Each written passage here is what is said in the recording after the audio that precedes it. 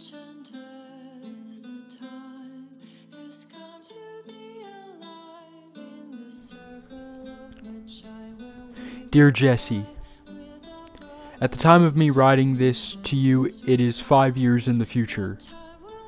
It is currently September 24th, 2020. I presume you are 14, about to turn 15 years old. Let's just say that some shit is about to go down. First off, stop swearing every other sentence. It's not funny and people think that you're mentally ill. Trust me. Secondly, you join the wrestling team next year. You go on to lose every match your sophomore year, win a quarter of your matches your junior year, and then win three quarters of your matches your senior year, finishing with a 14 16 career record. It is your dream to go to UT Chattanooga and wrestle. It doesn't happen.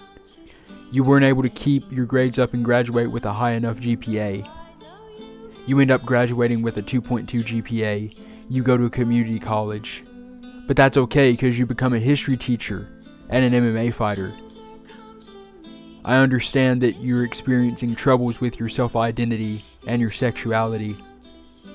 While I can't give advice because of time travel rules, I can give you words of wisdom.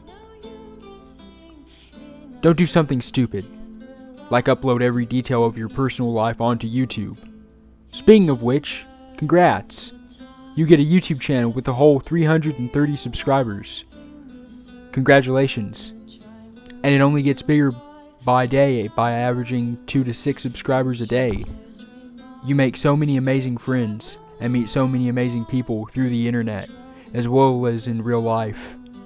Although you don't have everything figured out and you are currently going through the pain of life known as puberty, I want to let you know that you make it out okay.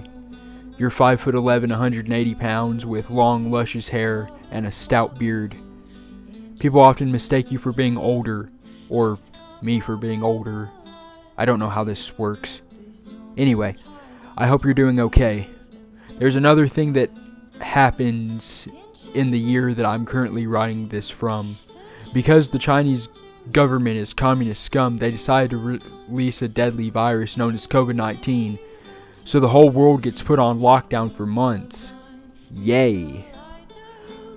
Other than that, everything is okay. There are many great content creators in 2020 on YouTube, including yourself, even if your channel is only at a certain number of subscribers. That's still good.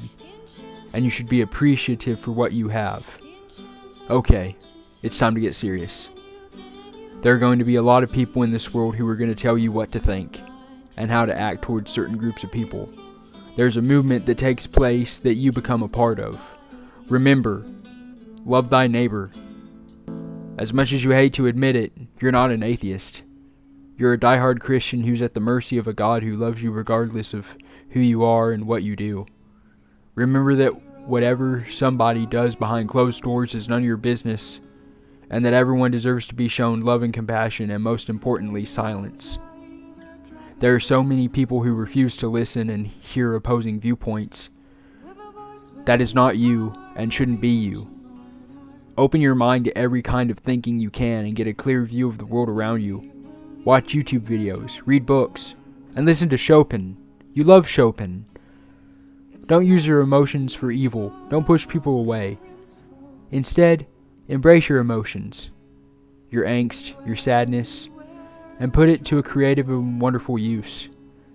Remember your grandparents and great grandparents who loved you.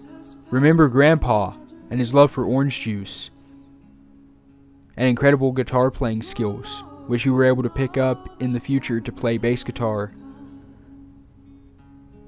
My last bit of words for you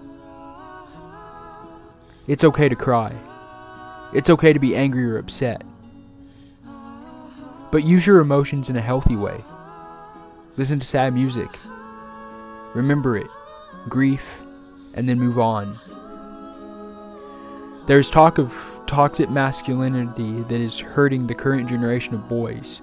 In reality, it's just lack of compassion for boys. But as I finish writing this letter, I want to tell you something that you don't get told often. I love you. Sincerely, your future self. Jesse Heard.